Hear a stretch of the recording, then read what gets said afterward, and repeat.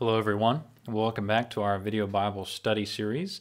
This is Functioning as the Lord's Church, and we're now in the new year. Can you believe it? 2021.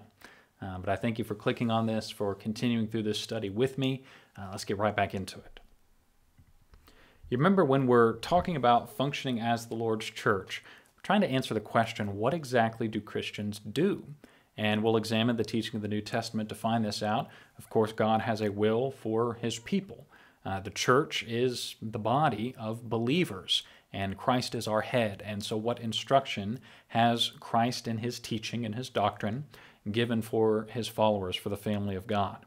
Uh, and first, we noted the idea of worship to talk about the scriptural truth of worship and that we're required to, to bring that toward God and with the proper attitude to worship in spirit and in truth. And secondly, we talked about evangelism. And we spent a good deal of time talking about what evangelism is. You remember sharing the message of the gospel, and also tried to give some practical application, some conversation starters, and different things that would be helpful to us uh, as we're all striving to do that, to get some good studies going and to share this truth with others.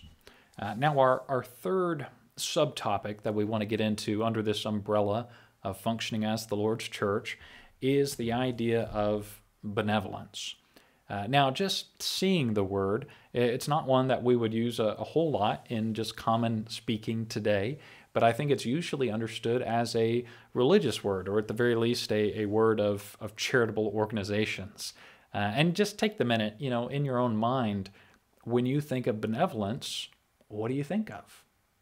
I think for most people, when they hear benevolence, they think of giving poor people money or food.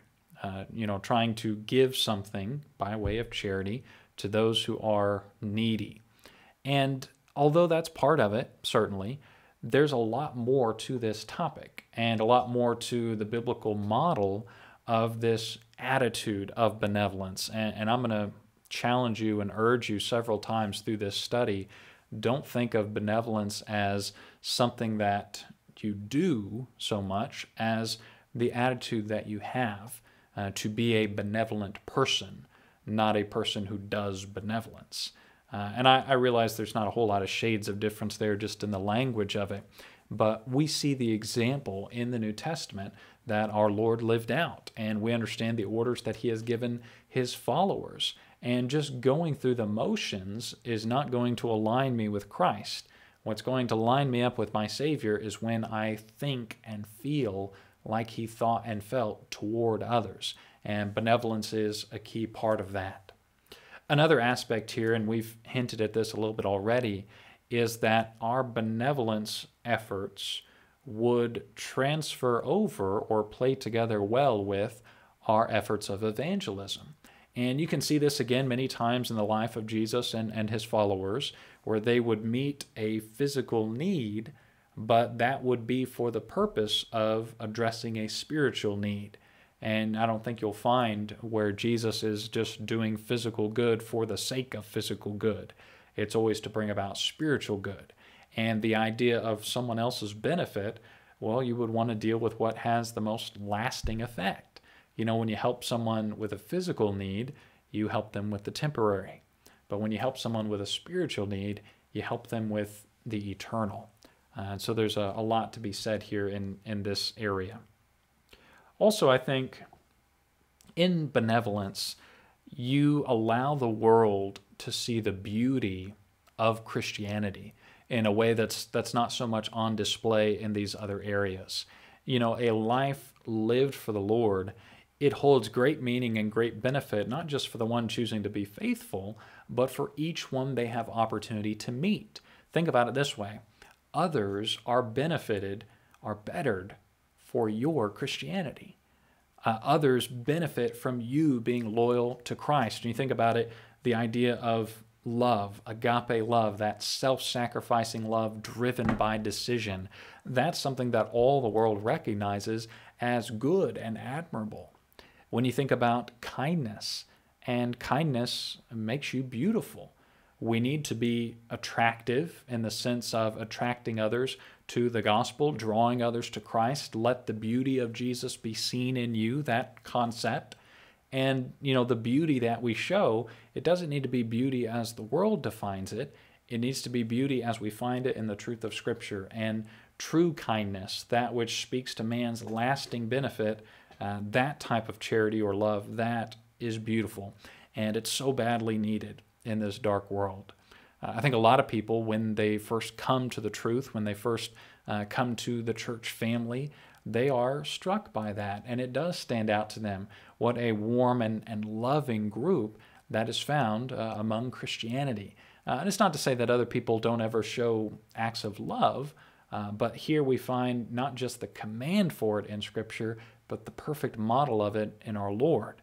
And of course, like we said, to tie it to the spiritual good, which is only going to be in the church, uh, to speak the truth of salvation and what it is to live right with Christ day in and day out. Uh, so there's really a lot connected to benevolence, but let's make it bare bones for a minute. Let's talk about definitions. This English word benevolence, you can find various definitions for it. It is defined as the disposition to do good.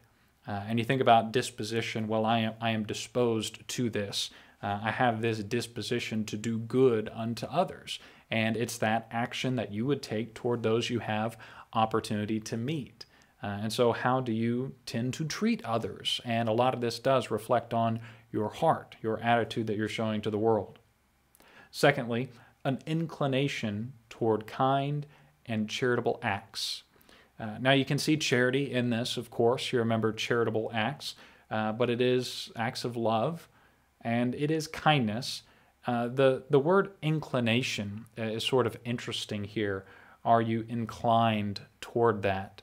Uh, the idea of being uh, predisposed to it or inclined to it, there is a tendency to show kindness. And I think with inclination, you can also see desire that you're looking for opportunities to show kindness, looking for opportunities to bestow charitable acts on others, to provide for their good and, and for their needs. Uh, thirdly, here, an act of goodwill or consideration. Uh, and you can see again how this is more than like a checklist and, and things that you would do. When we talk about consideration, how do you think of others? Uh, you know, an act of goodwill, and I think goodwill is really a key word we're going to talk more about in just a minute, uh, but to do actions that show you are thinking of others. And that level of consideration is, is, I think, rare a lot in society today. A lot of times we see inconsiderate acts, don't we? Well, we are called by our Lord to be considerate, to do good works, uh, and to show benevolence, to have this as part of our daily walk. And this is something that you maybe have to force yourself to think about more, but you can form good habits. So if you are on top of yourself thinking, all right, I need to do this, over time, you can naturally think that way. Uh, and of course, if you have the desire for souls, if you have the desire for others' best spiritual good, it will make sense to try and address some of their physical needs so that you can deal with some of the spiritual as well. I think a lot of these things, they just mesh, they mold together very nicely. Uh, now let's go just one step deeper here. When you talk about our English word benevolence, you can have a little fun uh, looking into the origin of this word. And our English word benevolence actually comes from the Latin. Now, I wanted to talk about this a little bit because I think it does well to spell out this conversation. Uh, I have fun looking at different languages. I, I am by no means a uh, linguist or an expert in this, but you can see benevolence comes from the Latin bene volens, and I, I won't get any of the pronunciation right, but it's fun to break this apart. So that initial piece, the bene, uh, that is good or well. And of course, Latin as a root language, you can see ties to other things we might be familiar with. Uh, the French word bon or the Spanish bueno, that's the same, it's good. And then that second part, volens, or a root word there, volo, it is to will. And you can think about this as volition. Uh, maybe volunteer is an easier way to get this idea across, but it's about your choice. Uh, when you volunteer for something, you choose to be involved here. You exercise your free will, you decide. And so you put it together. What is benevolence? Well, it's when you're using your free will for good. when you are doing well toward others, bestowing benefit on others, uh, and choosing to be involved in that when you will uh, use that for their good. Uh, and so it is about decision making. Uh, but why would we make that decision? Because of how we think, because of how we feel, because of how our heart is and our desire to be like our God. Uh, you think about it do we make decisions? Do we exercise our free will toward the good of others? Jesus did. Uh, God does constantly. Uh, God is working for us. He has uh, our good in mind, and that's why He treats us far better than we deserve and, and goes above and beyond. That's why Jesus went to the cross for our good. Uh, do we want good for others? Uh, and it's a little tricky to do a word study on benevolence. Most versions of the Bible don't even contain the word benevolence. Maybe that's surprising to you.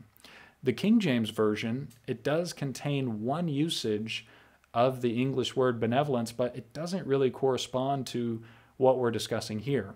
Uh, it's used to talk about the husband and wife relationship and showing affection there. So it's it's kind of a separate discussion. Uh, but although you don't find the word benevolence all over the Bible, the concept is a very scriptural one. And especially when you break it down, as we have and looked at the Latin a little bit, to exercise your free will towards good, we're talking about the concept of good works. And the New Testament has an awful lot to say about good works. We'll find much to, uh, to spend our time and study on. And it, it only makes sense. You know, the church functioning properly must be involved in doing good works. So the church functioning properly must be involved in benevolence. Uh, we must be people who are benevolent. Uh, now, to start looking at Scripture, I wanted to begin at what might seem an odd place, but I think it's very fitting. Uh, one of my favorite verses is contained here in this section. It's in Acts chapter 10. And if you remember, this is the chapter about Gentile inclusion. Uh, Peter and Cornelius, they're brought together by the power of God. Peter's declaring to Cornelius and others with him uh, the truth about salvation through Jesus. And you remember the Holy Spirit falls on Cornelius and company, and Peter, the way he explains it later, just as it did on us at the beginning, referring to Acts 2. Uh, and so the idea of Gentiles being included in repentance unto life, or the gospel call, life in Jesus. And you can tie in Galatians 3 that all are one. It no longer matters Jew or Greek, all are one in Christ Jesus. Uh, but here's a, a great description, and contained in it is something said about Jesus, and that's where I want to put the emphasis. So let's let's read through here, uh, picking up in the middle of 34. In truth, I perceive that God shows no partiality but in every nation, whoever fears him and works righteousness is accepted by him. The word which God sent to the children of Israel, preaching peace through Jesus Christ. He is Lord of all. That word you know, which was proclaimed throughout all Judea and began from Galilee after the baptism which John preached. How God anointed Jesus of Nazareth with the Holy Spirit and with power who went about doing good and healing all who were oppressed by the devil, for God was with him. Uh, okay, so there's a lot to like through this section. Uh, God shows no partiality, so no favoritism, and you can see Jew and Gentile both having access, if they will, fear Him and work righteousness. Uh, and so to have that recognition towards God, uh, God's ability and character, to use that as motivation for submissive obedience, and to do the work that He has given you to do, to walk rightly, you will be accepted by Him. And he says the word which God sent, that's the idea. It's preaching peace through Jesus. He says you're familiar with that word. That's what's being proclaimed as the truth of the gospel. And part of this description of the gospel has to contain a description of Jesus. And so verse 38 says, God anointed Jesus uh, with the Holy Spirit and with power. And then following that comma in verse 38, I really want you to see what's next. Who went about doing good and healing all who were oppressed by the devil. Now, the second part of that we can very much understand. Healing all who are oppressed by the devil. We certainly have many accounts uh, of Jesus, whether that's casting out an unclean spirit or raising a widow's son, uh, restoring sight to someone who was born blind. You know, his miraculous power was clearly shown. But I don't want us to skip over the first part. Who was Jesus? He was the one who went about doing good. You know, the healing and, and the miracles, those are really almost presented as separate here after we say this initial statement, he was the one who went about doing good. And when you look at the original language in, in the Greek here, to be doing good, or more literally, to be a worker of good, is to bestow benefit. Jesus went about bestowing benefit on all those around. Jesus went about bettering the lives of people he came in contact with. And, and that's a sobering thought. Do I better the life of people I come in contact with? Uh, you know, to be a worker of good. And you can see a lot about his role as the Messiah. Um, that is the true Messiah, not Messiah as the Jewish leaders might have thought he should have been. You know, as Jesus walked this earth, his main business was to travel from place to place to do good. He didn't go trying to gain applause, he didn't go trying to gain wealth, he didn't go for his comfort or ease, he, he didn't go trying to raise a physical army. Uh, no, he went about to bring lasting joy. Uh, I think about John 10:10. 10, 10. I'm, I'm come to that they might have life and that they might have it more abundantly. Well, the idea of the abundant life, the idea of true joy, um, that is to speak to man's spiritual need, to answer their sin problem. And you remember uh, when he was born of Mary, part of this promise foretold in prophecy is that he would be Savior. Uh, the one to save his people from their sins. And, and, this idea of being born of a woman at just the appropriate time to bring all this. Uh, yes, Jesus exercised his free will toward the good of others, uh, even choosing to be obedient to the point of death on the cross. This is a beautiful idea. And so our Lord exercised his free will toward the good of others. He chose to be a worker of good. Do we think the way that Jesus thinks? Uh, it is an issue of our hearts. Uh, don't think of benevolence as a checklist or a line item on a budget. It, it's about our attitude. Is our attitude Christ like or not? Do we go about doing good or not? Uh, where do we exercise our free will? And, and what's shown in that is what we care about, uh, what we value. And if we care about others and value their souls, that should be seen in the actions we take. And yes, the action to share the message of the gospel with them, but also the action to meet some of those physical needs, to provide for those who are hurting, to be there for them, to relieve some of the pain that people experience in this life. Uh, and again, it's never meeting a physical need just for the sake of that. We always want to speak to the eternal part of man, uh, but we don't want to go to the other extreme where we're only going to talk about spiritual matters and we have no time to address uh, physical problems that are there. No, you have to show the same love that our Savior showed. Show that level of care, and then people might be more willing to listen to you. It's amazing how these things tie in together. Uh, there's a lot that we want to say about benevolence. I think the first main area that we're going into, benevolence, is commanded. Uh, and what I mean by this, and the reason we want to lay out this point, there's a lot of people in the church today who, who I believe make a mistake trying to separate parts of Christianity that are required and then parts of Christianity that they'll say are optional. And so it is required that one be baptized for the remission of sins. But benevolence is optional. They'll say something like that or proclaim something like that by the way they're living. Well, if it's commanded, if it's commanded by our God, if it's commanded in Scripture, if it's given as instruction for God's people, you can't say, well, one's required and one's optional. Uh, it doesn't make sense to say, well, we have to follow God's command when it comes to the plan of salvation, and it's optional to follow God's command when it comes to daily Christian living. Well, no, if we're loyal to God, we're loyal to God. We have to do what He says. And benevolence, you'll find that it's commanded, but this is commanded for our good. this is commanded for our benefit. And you can see God's goodness toward us in that He would direct us to do this. Uh, there's there's so much here, but let's let's begin looking at a scripture dealing with money. Uh, now we said a lot of times when you just hear this word, you think about giving money to the poor. Uh, this is a good scripture to go to because it starts off with kind of a material focus, uh, but you'll see it doesn't end there. It very quickly shifts toward spiritual riches and a spiritual focus.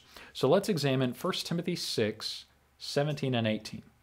It says, Command those who are rich in this present age not to be haughty, nor to trust in uncertain riches, but in the living God, who gives us richly all things to enjoy.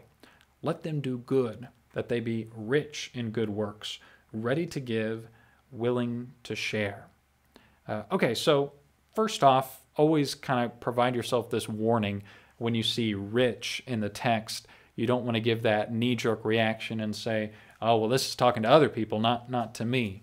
No, pause and consider. Uh, we are all very rich. Uh, when you think about living in America versus other countries across the world, and when you just think about the time period in which we live, uh, modern conveniences, and the life that you and I experience now being so far removed from the way people lived uh, even a few hundred years ago, it's, it's an amazing change. Uh, and so we are, we are very rich. We are very materially blessed. This command is, is for us. It, it should meet you squarely between the eyes command those who are rich in this present age not to be haughty. Uh, now, he's already starting to draw a distinction here. He says, rich in this present age. That's talking about life here on this earth, life in the temporary that James 4 tells us is just a vapor. And so here's a command to those who are temporarily well off. he says, don't be haughty, uh, don't be puffed up, arrogant, or proud uh, in that state. And he, he talks about how those temporary riches, they're not reliable. He says, don't trust in uncertain riches, but instead in the living God. Uh, here we see God as certain, right? The riches are uncertain, they're temporary, they're fleeting, uh, but God is certain. He is reliable, He is trustworthy. Uh, you could think about the way Jesus told it uh, that you would not lay up treasures here on this earth why? Because moth and rust can corrupt, and thieves can break through and steal, but instead lay up treasures in heaven, where neither moth nor rust can corrupt, and where thieves cannot break through or steal. Uh, that's how we're truly blessed, and it is again to speak to the eternal, to the spiritual, rather than to the temporary and the physical. So don't trust in uncertain riches, but instead trust in the living God. And I want you to notice this because the last phrase in 17 it really reshapes how we should think about our riches. How should you think about your material goods? Well, it, it is God who gives us richly all things to enjoy. And so you wouldn't be haughty and look at your present age riches and say, I did this. No, you would look at your present age riches and say, God gave me these things. And so, there, instead of uh, a point for pride, we see a point for gratitude. Uh, and if we are truly grateful, if we're truly thankful toward our God and what He has given us, then we'll have respect toward His command and what He wants us to do with it. Uh, see, it's a totally different way of thinking. It's not, this is mine, what can I do with it for me? It's, this is God's, and God loved me enough to give it to me, uh, to give it to me, so what does God want me to do with it? Uh, well, first, God gives us richly all things to enjoy. And the idea of enjoyment, I think you need to zoom out and see God as the loving creator. Uh, you remember at Genesis 1 at the end of that chapter, all things that he has, he has made, they are very good. Uh, or in James chapter 1, I believe it's verse 17, all good gifts, they come from uh, the Father of lights. They come from above, with whom is no variableness or shadow of turning. Uh, and so God gives us all this, but then what do we do with it? Here's the command, verse 18 let them do good, that they be rich in good works, ready to give, willing to share. Okay, so here's the instruction that we receive uh, command those who are rich in this present age to do good. And the phrase for doing good and being rich in good works ties in very nicely with what we saw with Peter and Cornelius. You know, in Acts 10, Jesus went about doing good. Well, if we are Christ like, if we are trusting in God, if we're laying up treasures in heaven, we're going to do the same. We're going to be workers of good, doers of good. Uh, you could tie in a lot of other good scriptures here. Think about Ephesians 2:10. We are His workmanship, made in Christ Jesus for good works. Uh, that's His idea for us. That's His plan for us. And so, if we're functioning as the Lord's church, we need to be doing good. Notice also the use of the word "rich" in verse 18. Be rich in good works, and that's the point of laying up treasures in heaven. Uh, don't be rich with temporary stuff, Don't be rich with physical stuff. Be rich with eternal spiritual things. Be rich in good works. Be rich in service towards God. Really, that's the point. And then we've got these two little phrases kind of at the end here ready to give and willing to share.